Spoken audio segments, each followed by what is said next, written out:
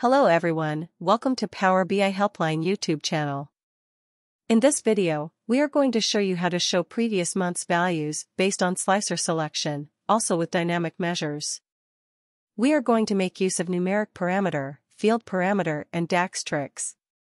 Do you want to know how to do this? Let's check it out. We have this column chart currently showing total sales by period. Period slicer here is interacting with this visual and showing as it is supposed to be.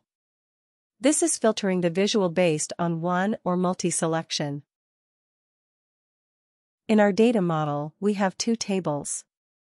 A date table for period slicer selection and a sales table, they are connected with one-to-many relationship based on date columns. This is our date table. Let's create a copy of this table, using which, we will generate the range of dates, which is to be evaluated based on slicer selection.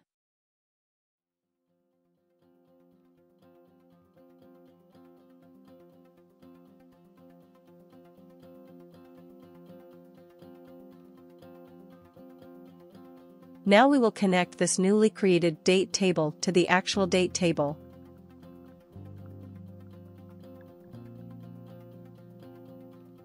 We will create an inactive one-to-many relationships, which later we are going to activate using use relationship DAX function inside our measure. Why we are not activating this relationship directly, because this new table will again start filtering the sales table, and we will not be able to achieve our actual requirements, which is to show previous date ranges. Now we are ready with our data model, let's create the measure. We will first create a static last 6 month measure, and later we will make it dynamic. We will also use newly introduced field parameter, so that we can even utilize this for any selected measures. We will create two variables, one is to store the max date in the current context, and one is to create the last 6 months date range.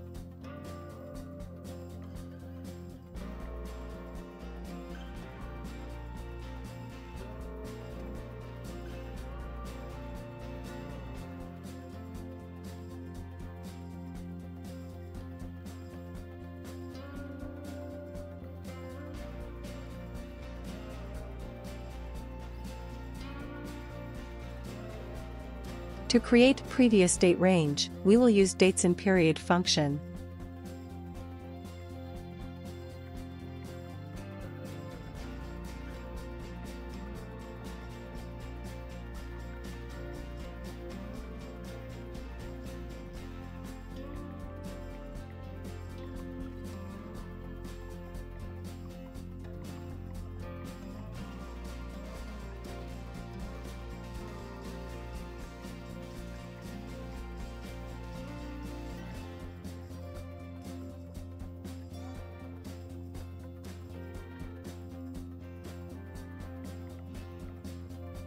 At this place you should be very careful, as we need to remove the already available filter on the old date table, and keep filters on this created date range, otherwise it will not be able to pass the last 6 months date range to already filtered table for that particular period.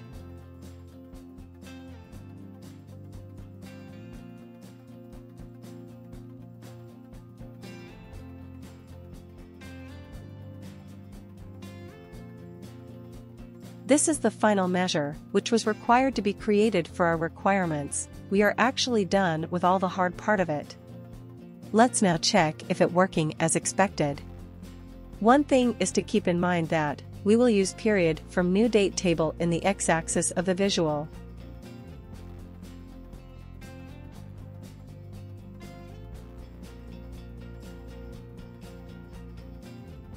As you can see this working as expected, and it is able to show past 6 months on our column chart. Let's make it dynamic now. For that, we will use a numeric parameter.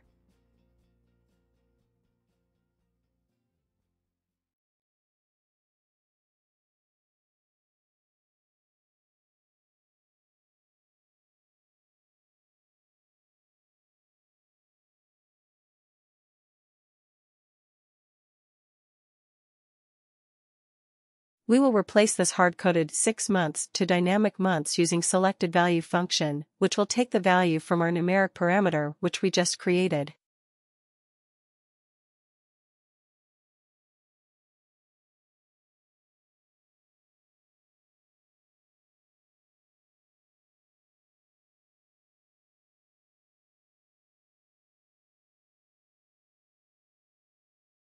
Now we have a measure, which dynamically accepts the required previous months and it is working as expected.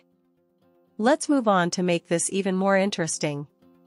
Now we will copy this same measure for profit and quantity too. And we will make use of field parameter to dynamically change the measures on the visual.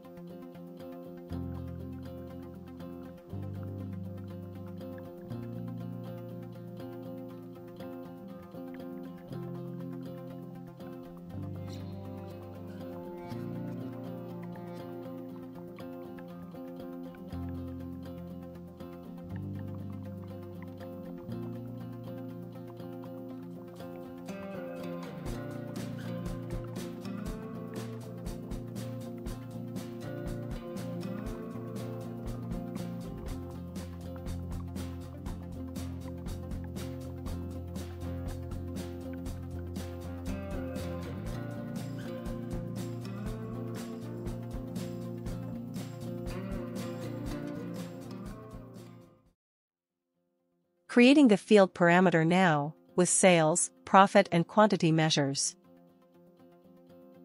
We will change the sales measure with field parameter, which can dynamically show the sales, profit or quantity measure on our column chart.